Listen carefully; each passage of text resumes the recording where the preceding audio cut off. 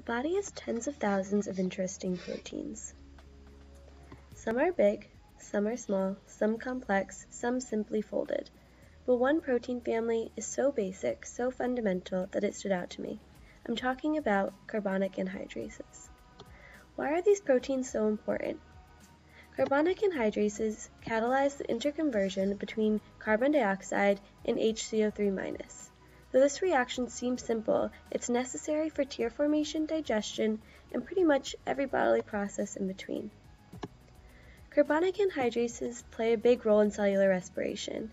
CO2 produced in the mitochondria diffuses into a red blood cell where carbonic anhydrase quickly hydrates it into H2CO3 before it continues on its journey in the bloodstream.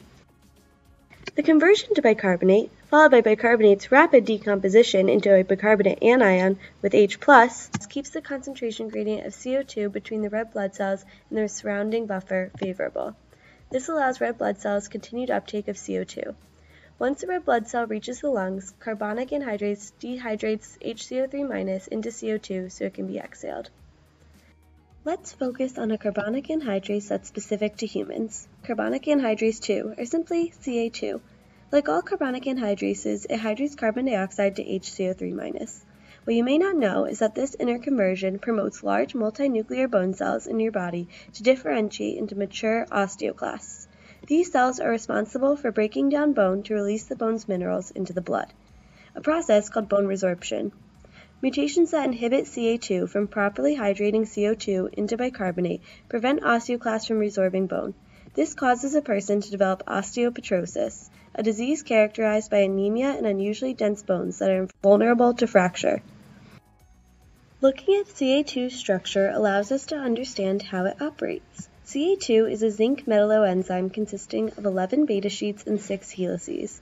Zinc is the rainbow ball at the center of the molecule.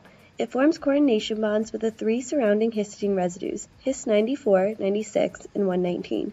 These basic polar residues create a perfect pocket for water to enter the active site and bind to zinc, occupying zinc's final coordination site. There are four basic steps to understanding the mechanism by which the enzyme catalyzes the water molecule's attack on carbon dioxide. First, the water loses a proton, generating a zinc-bound hydroxide ion. Second, carbon dioxide binds the active site, which positions it perfectly to interact with the hydroxide ion. The ion attacks CO2, converting it into a bicarbonate ion. Finally, a second molecule of water enters the active site, displacing bicarbonate and starting the process over again. This leaves us with two questions. What causes this proton to leave? And two, where does it go?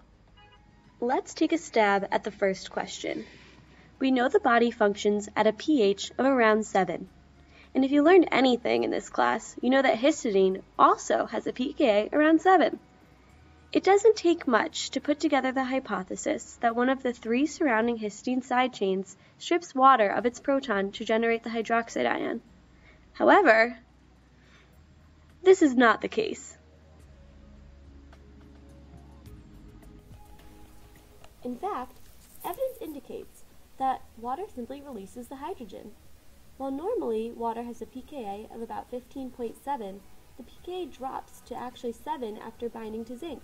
This makes the proton acidic and allows for it to be easily released. So once released, where does this proton go? Well, Ca2 actually evolved a shuttle to take a proton from the active site to the exterior of the enzyme. This involves a fourth histine, histidine residue, His64. His64 catches the proton released from the zinc-bound water the resulting positive charge in the residue is stabilized between the two nitrogens on its imidazole ring. His64 then transfers the proton to the protein exterior, where it is eventually picked up by the surrounding buffer. This returns His64 to its natural state, so it is ready to pick up another proton. So what did we learn? Carbonic anhydrases are zinc metalloenzymes which catalyze the interconversion between CO2 and HCO3-.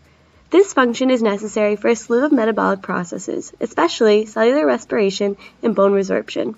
Mutations in these enzymes can cause some big problems, but when they work properly, they have a pretty elegant way of taking advantage of the body's natural pH to transfer protons. I hope you enjoyed this presentation on carbonic anhydrases.